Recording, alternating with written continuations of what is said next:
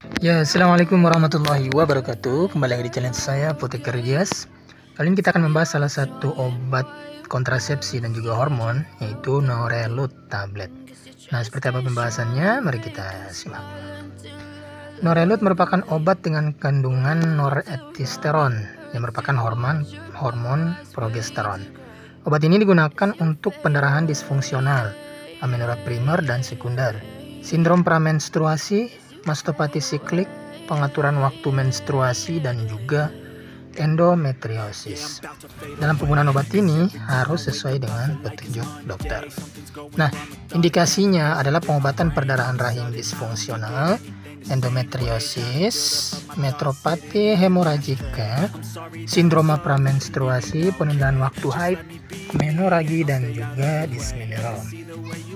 Nah, komposisinya adalah noresteron 5 mg. Nah, dosisnya ini harus sesuai dengan petunjuk dari dokter. Tahu 3 kali sehari satu tablet selama 10 hari pendarahan.